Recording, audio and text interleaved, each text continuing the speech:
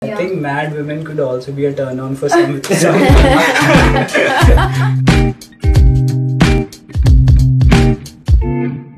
So, guys, what is your biggest insecurity in the bedroom? so the first time I got to know that women can actually fake an orgasm, like hit me really hard. Like was she faking it all the time?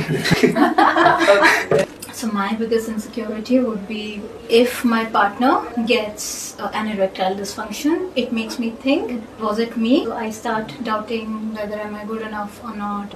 I think my biggest insecurity would be of the fact of how I'm looking and uh, how it should not be a turn off for my partner. So pretty similar to yours. I think uh, what faces I make in the bed. I think that's my biggest insecurity.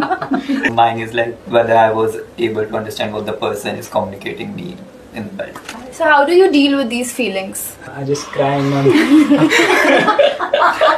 So, I think to deal with this, I actually calm myself. So, like, I go in that introspective phase where I'm like, it's okay to not be okay at times. I ensure that there is proper communication and I deal with the person that okay, this is the boundaries, this is the thing you want, this is the expectation, and this is what I can offer. I think in my case, what faces I'm making is not something I can control, and the person is getting a lot more things. So my face is not something they should be bothered about.